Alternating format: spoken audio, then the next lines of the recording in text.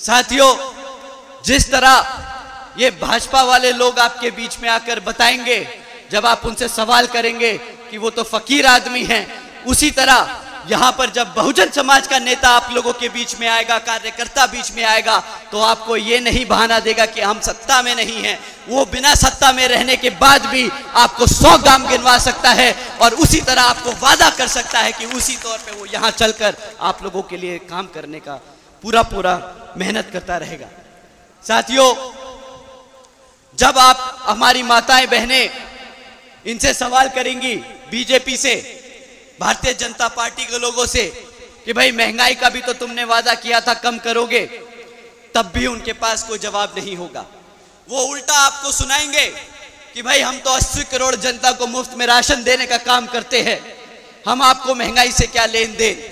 परंतु मैं उनसे पूछूँगा मैं अपनी माताओं से पूछूँगा कि आप उनसे सवाल ज़रूर करना ये, कि भाई, मुफ़्त में राशन तुम कितने का दोगे?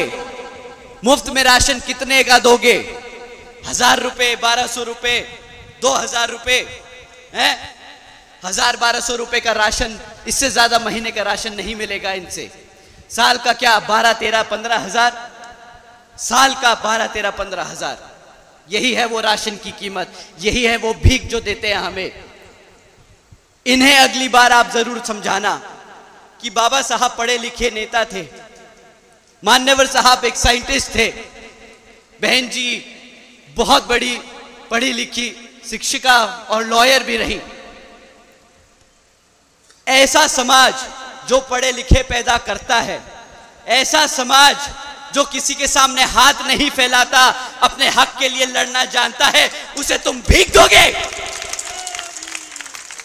ऐसे लोगों को समझा दीजिएगा कि यहाँ पर बहुजन समाज पार्टी और इनेलो की सरकार बनने वाली है। तुम्हारी भीख नहीं चाहिए। हम अपना हक छीनना जानते हैं और अब अपना हक छीन के रहेंगे।